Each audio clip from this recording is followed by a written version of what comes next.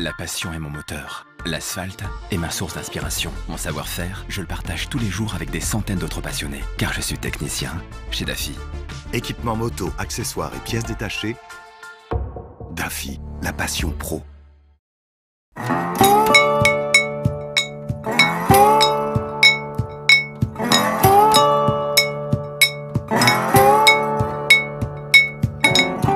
C'est à Austin, Texas, que Honda nous a conviés à découvrir son nouveau vaisseau amiral, la Goldwing Touring DCT. La Gold, pour les intimes, c'est plus de 40 ans d'évolution pour rester au top de la catégorie des grandes voyageuses. Un véritable mythe qui a su allier grand confort, capacité d'emport, agrément moteur et facilité, malgré un poids de plus de 400 kg. De quoi ravir entre autres le cœur de nombreux Américains pourtant très attachés à leur production locale, Harley Davidson en tête. Autant dire que Honda est attendu au tournant pour cette sixième génération, qui, tout en respectant des normes Euro 4, imposant une réduction significative des émissions polluantes, se veut plus proche des attentes des motards d'aujourd'hui. Agrément, sécurité et qualité dynamique. On notera donc l'apparition de nombreuses nouveautés. Nouvelle fourche à double triangle et mono-amortisseur qui dissocie la direction de l'amortissement, à l'instar du duo les verts de BMW. Freinage couplé avec étrier 6 pistons à l'avant, traction control, suspension pilotée couplée à différents modes cartographiques, boîte automatique DCT à 7 rapports et un moteur profondément revu qui compte maintenant 24 soupapes. Ah, c'est difficile de juger vraiment des progrès du moteur sachant qu'il est associé sur mon modèle d'essai à une boîte automatique. Ce que je peux vous dire en revanche, c'est que le couple 6 cylindres boîte DCT c'est très très convaincant. On s'y fait très très bien franchement. Hein. il y a le mode tour, c'est le mode de tous les jours un mode rain efficace, mais bon, personnellement, je le trouve quand même un peu trop castrateur, quoi, c'est mou. Hein. En revanche, j'aime bien le mode éco, c'est bien pratique, surtout quand j'ai approché des 300 km d'essai. J'étais content de mettre en éco, et surtout, il y a un mode sport qui transforme la Gold en une véritable catapulte. Et franchement, c'est pas la nouvelle partie ici qui va vous en empêcher en plus. Hein. Si on entame une petite glisse de l'arrière, ça se remet en ligne tout seul l'histoire. Entre la fourche, la taille du pneu arrière, l'empattement, le poids de la machine et puis surtout traction control, on n'est pas prêt de se mettre par terre, hein, c'est hyper stable. Concernant l'amortissement piloté, on peut choisir la précharge en fonction du nombre de passagers et de bagages. En revanche, euh, elle gère le reste en fonction du mode cartographique choisi. En bref, souple en mode tour et puis plus rigide en mode sport. C'est sensible hein, et ça change assez radicalement le comportement de la moto. Je pense que les habitués vont être vraiment surpris, hein. elle est nettement plus dynamique.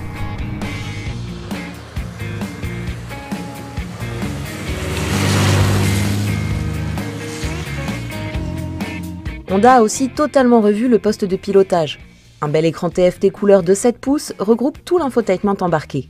Les nombreux réglages de la moto, la radio, le GPS et la connectivité Bluetooth ou CarPlay se gèrent depuis les Komodo ou la console centrale de façon plus aisée que précédemment. À l'image de l'ensemble de la moto, l'instrumentation, très lisible et complète, est très bien finie, pour ne pas dire premium.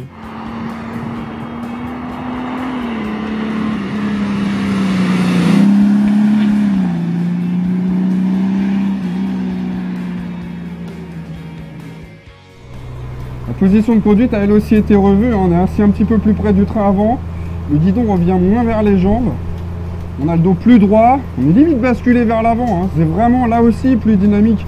Idem pour la selle, elle est moins enveloppante, on a un petit peu plus de mobilité latérale, on bouge un petit peu mieux. En revanche, question confort, pas de souci, hein. d'autant que l'amortissement procure toujours cette sensation de tapis volant là, c'est presque déconnecté de la route de temps en temps, alors remet en mode sport, hein, évidemment, et encore. Je suis hyper impressionné par la nouvelle fourche. Hein. Je la vois travailler à fond alors que moi je bouge pas d'un millimètre. La suspension à double bras cogne un petit peu sur les nids de poule à l'avant là. Mais c'est bien le seul défaut de ce genre de fourche qui dissocie la direction de l'amortissement. Parce que ça offre vraiment une stabilité en courbe étonnante. La protection elle aussi a évolué. Pas forcément dans le bon sens, on va pas se mentir. Le carénage et le pare-brise ont subi une petite cure d'amaigrissement on va dire. Le buste et la tête, ça va, d'autant qu'on a gagné un pare-brise électrique, donc c'est vraiment très très cool quoi. En revanche, alors on sent un petit peu plus l'air sur les jambes, les bras, les épaules, même les mains d'ailleurs sont moins protégées. Au registre des mauvaises nouvelles, difficile de ne pas remarquer la capacité de chargement en baisse. En tout, les valises et le top case, qui peut tout de même abriter deux casques, perdent 40 litres. En revanche, les tarifs augmentent sensiblement puisque la Goldwing Touring débute à 32 999 euros en boîte manuelle et 35 999 euros équipée de la DCT et de l'airbag.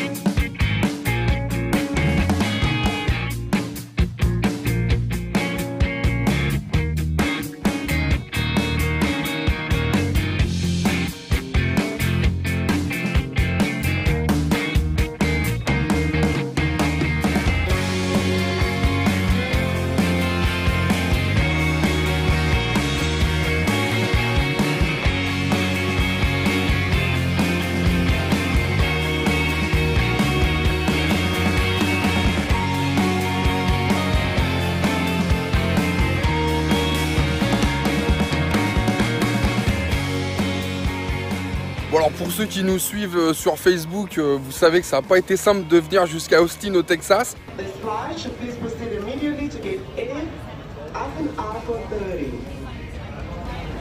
Again, En mode cadavre. Gros cadavre.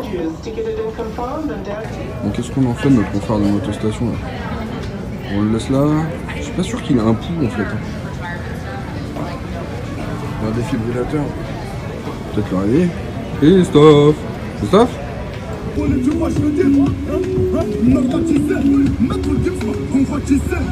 On n'aura pas tout perdu les copains. J'ai rencontré un alpaga. C'est trop mignon. Salut. Salut, petit alpaga. Ça va Moi on m'a dit le Texas, normalement il fait chaud, il fait beau et tout. euh, Il fait pas chaud, il fait pas beau, j'ai froid. Mais bon, au moins je ressemble un peu au Père Noël. Fous ta cagoule